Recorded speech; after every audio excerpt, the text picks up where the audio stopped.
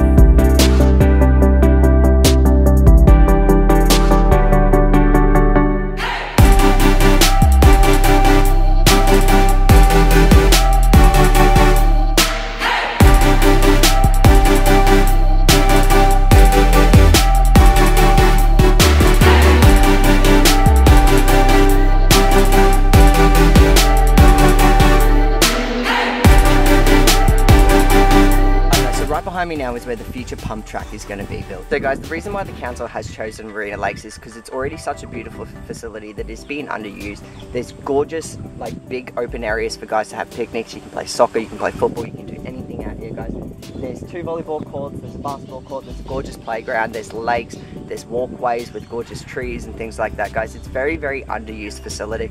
So they want to try utilize that and by building a pump track right at the front near the car park, near all the big facility, the underground area, they've got trees underneath, I mean seats underneath the trees like I'm sitting on right now guys. It is such a beautiful, beautiful, beautiful, beautiful park and we need to utilize it to our fullest. So guys, right behind me is where the pump track is going to be built. It is going to hopefully be built early in 2022, which is only around the corner guys, don't get too scared, but we need your help. And I'm gonna go back home now and I'm gonna tell you exactly how we do it. So guys, I'm gonna quickly go onto my computer and show you the process with a little bit of a voiceover as to what I exactly need your help with. It is a very simple process. It's a matter of just sending an email to the council and saying that we want the Warrina Lakes project to go ahead ASAP because the council does have other projects that they are trying to push forward first. But we need this one to go ahead first, guys. It's for the community. It's going to be such a good thing. We, our kids will no longer have to travel to Malanda just to use the pump track because I know that's happening quite a lot. It's going to bring so much more fun to, for the community, so much more fun for the kids, and just it'll, it'll liven up Warrina Lakes a little bit, what we actually need, and hopefully drive more people to this beautiful part of Innisfail. I'm going to show you the process on the computer now, and then I'll be back with you to wrap up the video. Alright guys, so once you head to Google, I need you to go to the Cassowary Coast Regional Council website. Once you go there, head to the search bar and type in master plan. This is going to bring up all the master plans that the council has going on in our region at the moment. The first link here should be the Warrina Lakes master plan.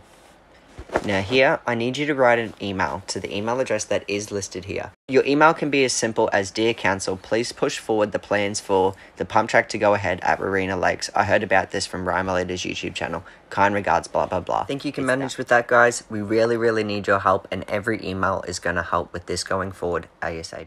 Alright guys, that's going to wrap up the video there. Thanks very much for watching. Drop a like, share it with everyone. Make sure you do send an email to the council because we really, really need it.